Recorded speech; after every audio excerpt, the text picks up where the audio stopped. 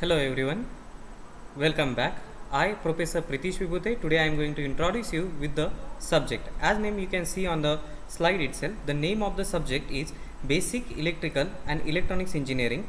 Short form of this particular subject is BEEE that stands for Basic Electrical and Electronics Engineering and course code is BE104.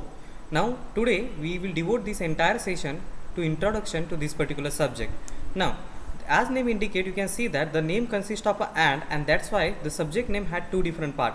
The first part is basic electrical engineering and second part is about electronics engineering. And that's why entire six unit of the syllabus are divided into two groups of three unit each. So first three unit are devoted to electrical engineering and last three units are devoted to electronics engineering.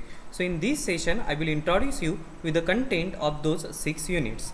Now very first let me introduce you what is and concept of electrical engineering.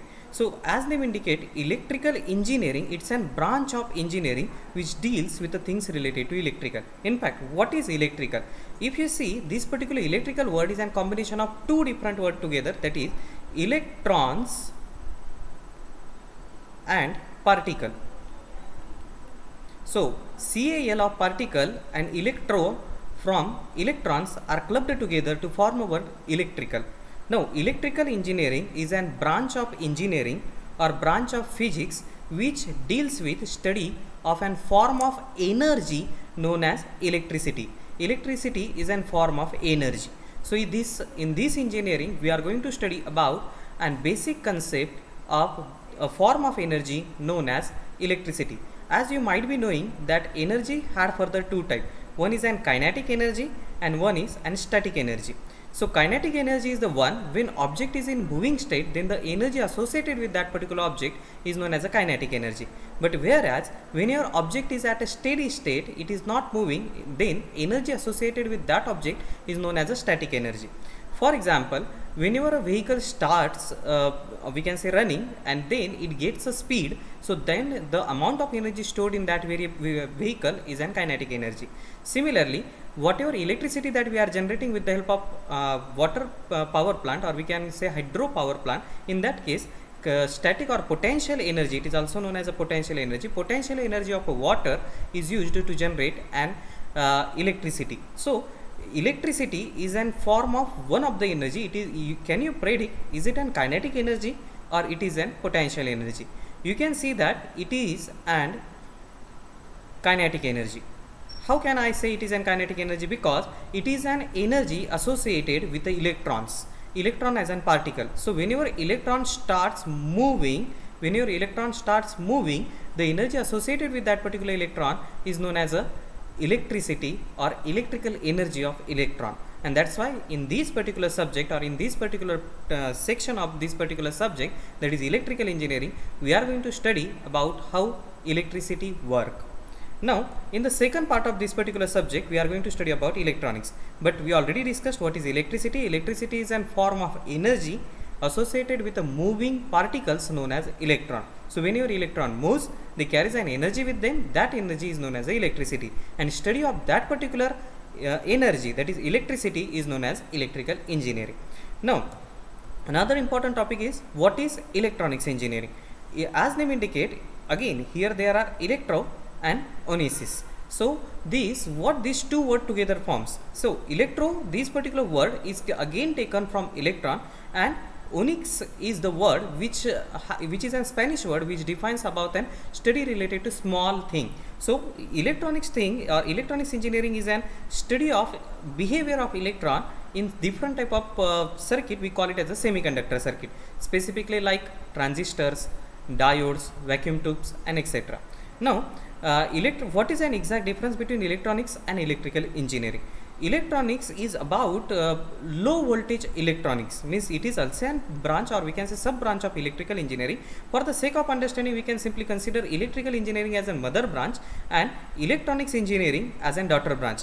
Try to understand if i draw it like this electrical uh, is an electrical is a main mother branch and the uh, it consists of further so many daughter branches. One among them is electronics. Another is instrumentation another is computer.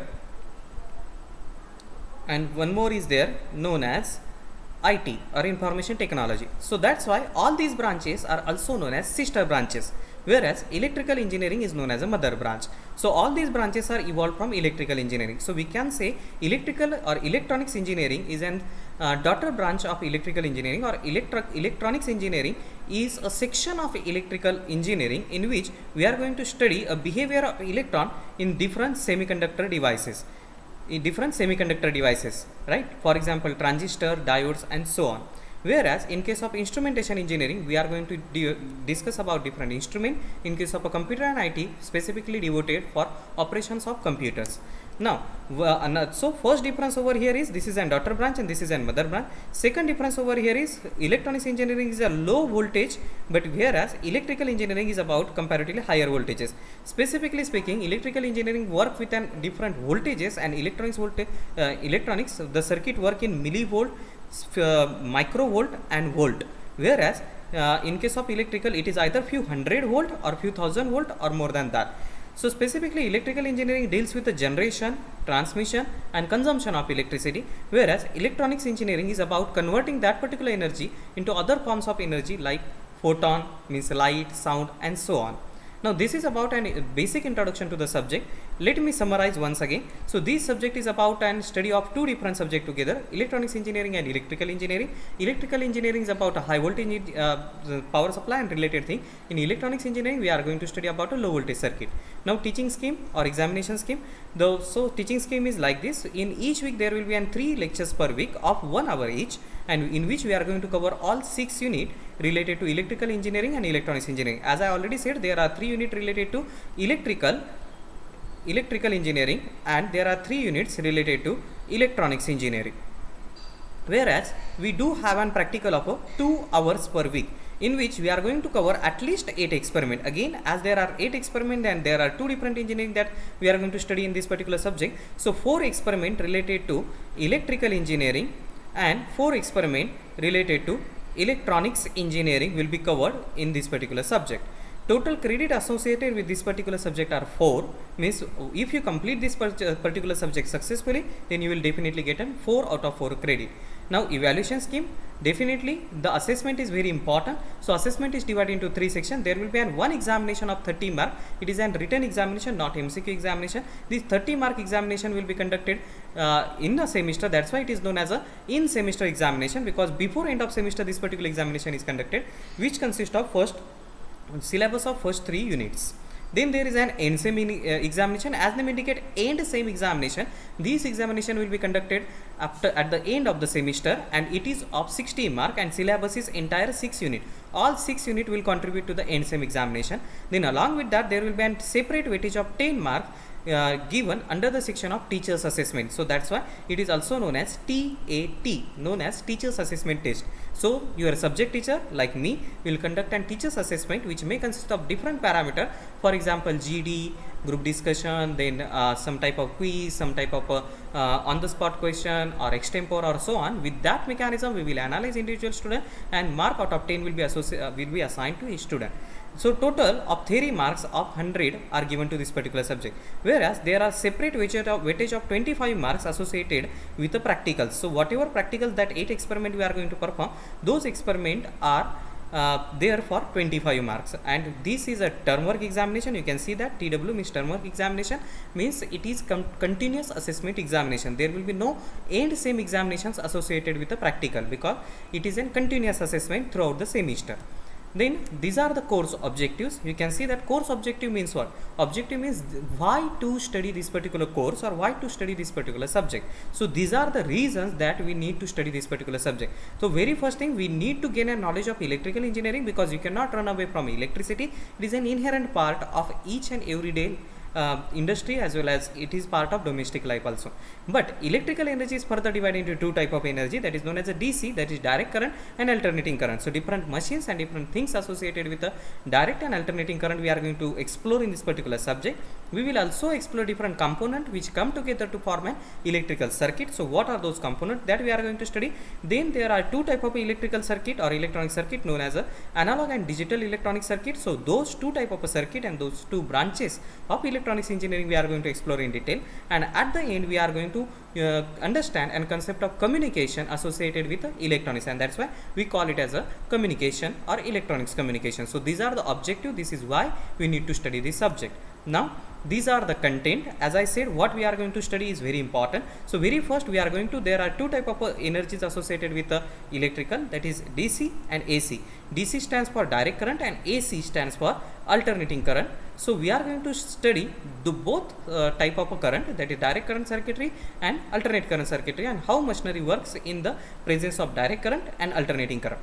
Then i am going to introduce you with the concept of semiconductor devices and application. You can see that as it is related to semiconductor means this particular section is about electronics engineering. So unit number 4 5 6 is about electronics engineering whereas unit number 1 2 3 are about electrical engineering. So this is electrical engineering. So these first three units are related to electrical engineering and last three units are related to electronics engineering. Then we are going to discuss about analog and digital electronic circuit along with uh, electronics communication. So these are the course outcome. As i named, uh, said course outcomes are nothing but what you will get after successful completion of this particular course. So after successful of completion of this course, you will be able to understand different rules and laws as well as theorems related to electrical engineering so that you can understand how uh, electrical engineering work along with that you will come come across different type of electrical uh, machines and circuits like dc machine dc circuit ac machine ac circuit then alternating current direct current and so on. Along with that different type of circuit like analog circuit digital circuit and so on. And what is an working principle and how those particular circuits are designed and work that way we are going to understand as a second of outcome of this particular subject. And third and last outcome is we will be able to design some type of a, uh, electronics and electrical applications by using an basic components related to electrical and electronics engineering. So this is about an course outcome of this particular subject. These are the different textbooks that we are going to refer throughout the uh, uh, semester and which reference book is associated with which unit and which point that will I will explain you whenever we are discussing corresponding point. And this is the list of reference books. I highly recommend you to uh, take a snapshot of this particular slide so that you can get those books issued from any library available with you. Now this is all about today's session. In next session we will discuss about first unit in detail. Thank you